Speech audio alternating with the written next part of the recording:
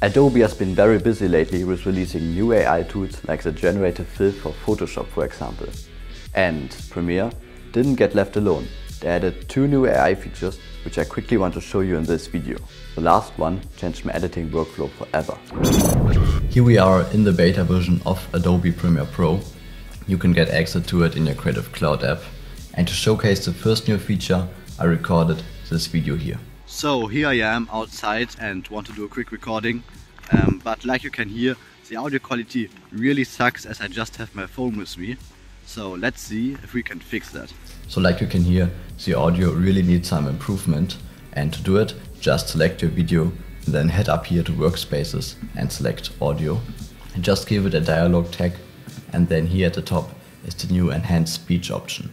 Just click on enhance and after it's done analyzing, you can use the mix amount slider to give it more or less strength. Really try to find a good value with the slider, because if you put it too high, your voice will sound like an AI voice, and if you put it too low, then your audio quality will still be trash, so you need to find a good balance. In my case, 6.5 worked the best. So yeah, um, let's just take a listen. So here I am outside and want to do a quick recording, um, but like you can hear, the audio quality really sucks as I just have my phone with me. So let's see if we can fix that. So I think this sounds a lot better than before.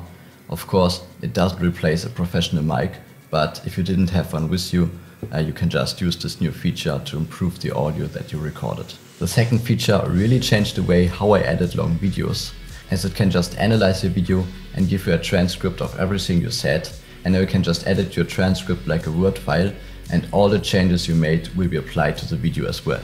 To use this feature, just head up to Edit, Preferences, and then select Transcription. Here you can choose if you automatically want to transcribe every clip you imported and also your default language. Next, just select your clip and head up to the text-based editing workspace. Select transcript and transcribe your clip. And now we get this transcript here on the side and we can just click on a specific word and then the playhead automatically jumps to that position. So here we can see that I always try to say the same sentence and here's the last time I said it, so this must be the correct take. Um, just click on it and then you can delete everything you said before.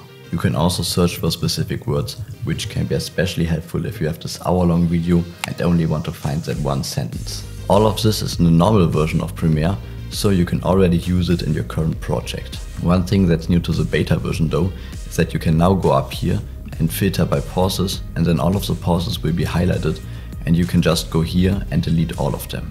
Normally an editor would spend multiple hours doing this to make a YouTube video shorter, but now you can simply do it with a click of a button. So all of this can really improve your workflow, but I still have one bonus tip for you, because you can also use this transcript to create captions for your video.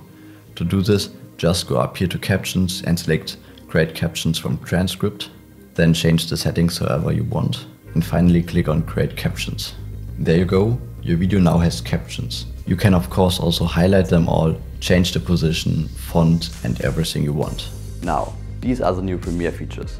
But did you know that Adobe just released the biggest After Effects update in years, which will change the way we use the program forever?